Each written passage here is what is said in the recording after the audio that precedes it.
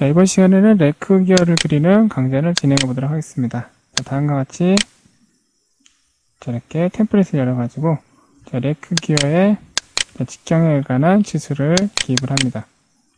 자, 래크 기어의 길이가 200이었으니까 자, 돌출 200으로 하셔가지고 자, 중간 평면으로 자, 이렇게 래크 기어의 자, 재료가 되는 네, 긴 봉을 만든 다음에 자, 여기 다시 스케치를 잡으셔가지고 자 스케치 잠시만요. 자, 여기서 원에서 이렇게 밑에서부터 28만큼 해서 위를 깎는다는 설정이기 때문에 자 돌출 스케치 편집을 다시 한번 하겠습니다.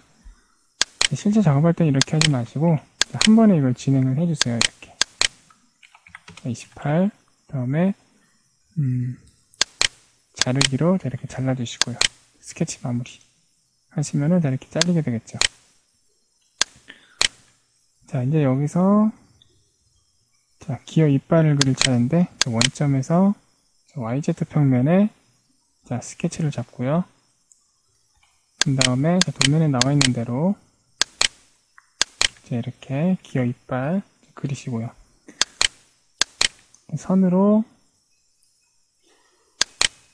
끝점과 자, 중간점을 일치를 시키고 자, 여기를 천조선으로 바꾸고요.